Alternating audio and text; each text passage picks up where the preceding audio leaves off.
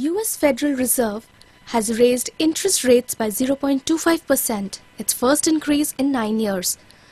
This was announced on Wednesday after a two-day policy meeting between officials with stocks rallying in early trading in Europe and the US.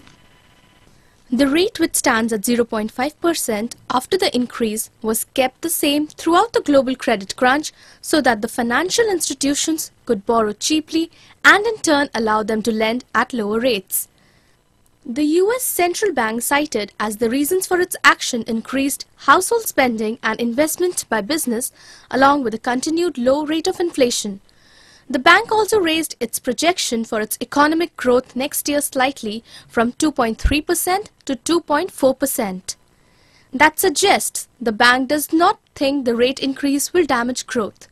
US share markets jumped in response. The move is likely to cause ripples around the world. It could also mean higher borrowing costs for developing economies, many of which are already seeing slow growth. Much of what happens in India will depend on how foreign institutional investors react to the Fed hike.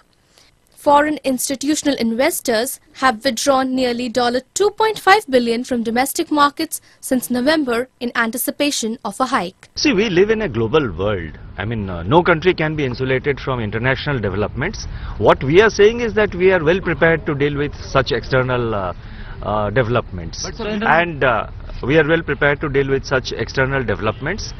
The country is benefiting out of, as I said, low crude prices and uh, the overall uh, macroeconomic stability is also there.